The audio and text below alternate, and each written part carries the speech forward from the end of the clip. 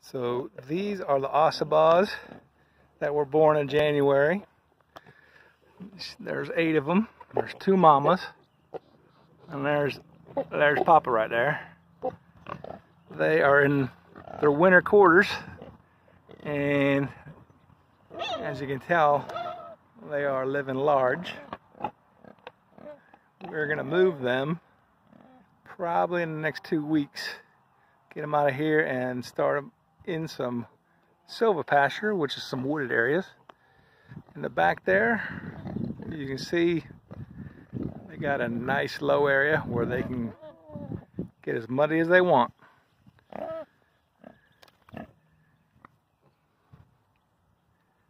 Living the life.